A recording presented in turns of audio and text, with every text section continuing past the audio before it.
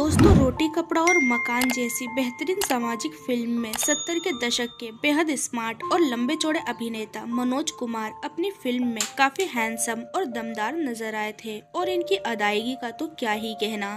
जिन्हें लोग आज भी याद करते हैं। लेकिन दोस्तों, आप सत्तर के दशक के सबसे सुंदर अभिनेता मनोज कुमार के बारे में तो सब जानते हैं, पर शायद ही आप इनकी रियल लाइफ फैमिली के बारे में जानते हो कि इनके परिवार में कुल कितने सदस्य हैं और वो सब क्या करते हैं और कैसे दिखते हैं। अगर आप भी इनके परिवार के सभी सदस्यों से रूबरू होना चाहते हैं तो हमारी वीडियो के लास्ट तक बने रहें और उससे पहले हिंदी सिनेमा के भारत पुत्र के लिए एक लाइक ज़रूर कर दें। भारत के वीर पुत्र मनोज कुमार का जन्म 24 जुलाई 1937 में पाकिस्तान में हुआ था और इन्हें मिलाकर इनकी फैमिली में छह मेंबर हैं, जिसमें इनके माता पिता दो बेटे, इनकी धर्म पत्नी और ये खुद शामिल हैं।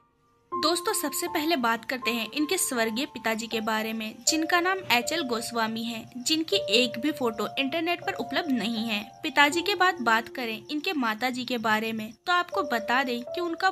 नाम कृष्ण कुमार गोस्वामी था, जो कि अब इस दुनिया में नहीं रही और न ही उनकी कोई पिक्चर इंटरनेट पर उपलब्ध है माता पिता के बाद बात करें इनकी निजी ज़िंदगी के बारे में तो हम आपको बता दें कि इन्होंने अपने करियर की ऊंचाइयों पर ही किसी बॉलीवुड अभिनेत्री से नहीं, बल्कि एक सीधी सादी लड़की से और फ़िल्म प्रोड्यूसर शशि गोस्वामी से लव मैरिज की थी, जिनके साथ आज भी ये बहुत ज़्यादा खुश हैं। आपकी जानकारी के लिए बता दें कि अपनी प्यारी सी पत्नी शशि गोस्वामी के बीते समय के साथ दो बेटे बेटे के पिता बने हुए हैं, जिनमें एक बेटे का नाम कुणाल गोस्वामी और दूसरे बेटे का नाम विशाल गोस्वामी है, जिनमें से इनके बड़े बेटे कुणाल गोस्वामी पेशे से एक बॉलीवुड एक्टर हैं। जिन्होंने दो गुलाब, जय हिंद और कलाकार जैसी बेहतरीन फ़िल्मों में काम किया था और अब ये फ़िलहाल साठ की उम्र में अपनी निजी ज़िंदगी में काफ़ी खुश हैं।